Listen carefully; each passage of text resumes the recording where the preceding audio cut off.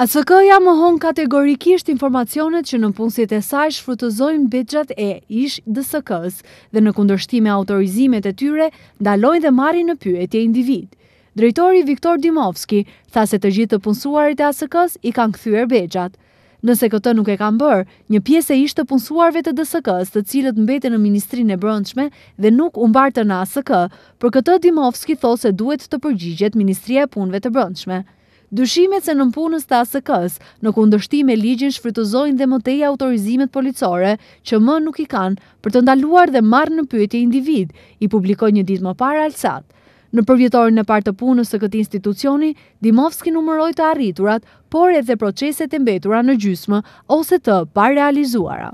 Një pjesë e aktiviteteve të planifikuara nuk janë realizuar plotësisht para së gjithash për shkak të rrethanave ku u gjendëm. Procesi i vazhduar zgjedhor dhe aktivitetet e jashtëzakonshme që erdhën nga pandemia botërore.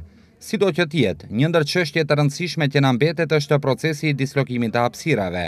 Kjo mbetet si detyrimi jonë për periudhën e ardhshme, tha Viktor Dimovski, drejtor i Agjencisë për Siguri Kombëtare. Dimovski në takim joformal me gazetarët sqaroi se objekti ku do të vendoset ASK-ja është gjetur, por kanë mbetur pa përfunduar disa procedura administrative para shpërnguljes. Ky institucion akoma funksionon në hapësirat e ish-DSK-së, brenda Ministrisë së Punëve të Brendshme, edhe pse tashmë është institucion më vete.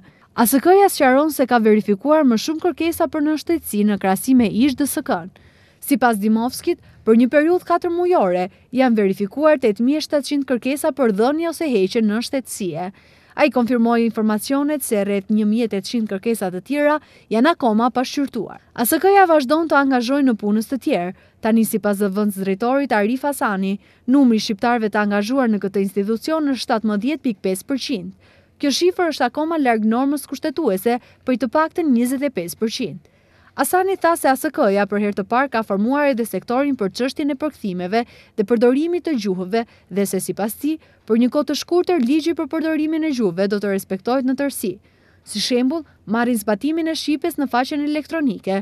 Kryeministri është personi para të cilit agjencia jep llogari.